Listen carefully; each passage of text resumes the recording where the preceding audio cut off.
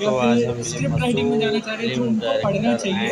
और ऐसी कौन सी प्रैक्टिस जो आप खुद करा करते थे जो अच्छा आपको इस मुकाम पे इसमें कोई क्रैश कोर्स नहीं। है दुनिया में कोई भी काम सीखने के लिए क्रैश कोर्स नहीं होते। तो बड़े मामूली आप राइटर बनना चाहते पर हैं. शोले बिफोर द आउटपुट बहुत सारी फ़िल्मों लिखी हुई बिफोर द है output you need to have a large intake देखते रहिए तो आप राइटर बनना चाहते हैं तो लिखना बाद में शुरू क्या कीजिएगा कहते हैं सर पहले कई you, तरह you. पढ़ते रहिए you read all kind of fiction you read classic you read mills and moves you read thrillers you read paperback you read great novels all kind of writing plays by big writers when you will read so much one you will know how to create a character two you will develop a bigger vocabulary So, अगर आपने talent नहीं तो आप सीख भी नहीं सकते लेकिन उसके स्कूल्स हैं आप डांस स्कूल में जाते हैं म्यूजिक स्कूल में जाते हैं but school for writing is reading. So you read first and keep on reading indiscriminately all kind of literature.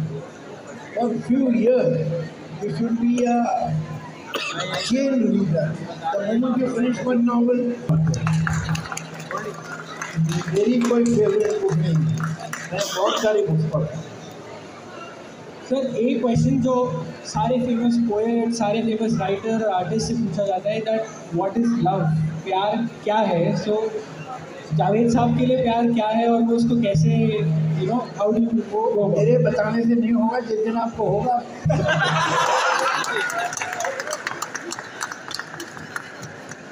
Sir, एक डेफिनेशन तो आप दे सकें, प्यार देखिए, मेरा ऐसा ख्याल है कि प्यार वो है कि आप किसी आदमी को इतना पसंद करें कि उस इंसान के बिना आपको लगे कि उसके बगैर जीने में कुछ वो बात नहीं आए। लेकिन प्यार सिर्फ़ ये नहीं है। प्यार ये भी है कि जिसको आप इतना पसंद करते हैं उसकी इज़्ज़त भी उतनी ही करें और use round of applause for और अगर इज़्ज़त है वो एम्पावरमेंट नहीं है तो इज़्ज़त भी झूठी है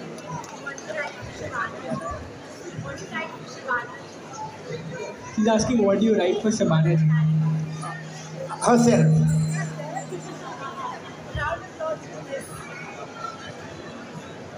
Sir हाँ। आपने अपनी बुक के लास्ट पेज लास्ट चैप्टर में लिखा है कि life is an art life is a craft इस बुक में मंडलोई साहब ने एंड में लिखा हाँ। Life is a craft how did you perfect that craft and what are your practices ये सब जानना चाहते हैं आज के डेट में कि जावेद जी ऐसा क्या करते हैं that is life is what he has made him out of himself आपने कैसे किया? व्हाट इज़ योर मंत्रा तो देखिए दुनिया में जितने आर्ट है आप गौर से देखिए म्यूज़िक है डांस है, पेंटिंग है, राइटिंग है स्कल्पचर है।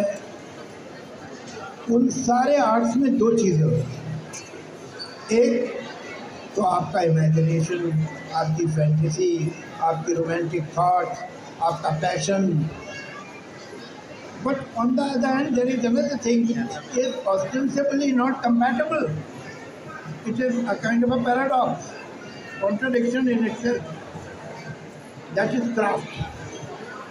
No art can be projected without good craft. Now, art is forgetfulness, indulgence, passion, imagination, dreams. But craft is calculated, craft is cold blooded.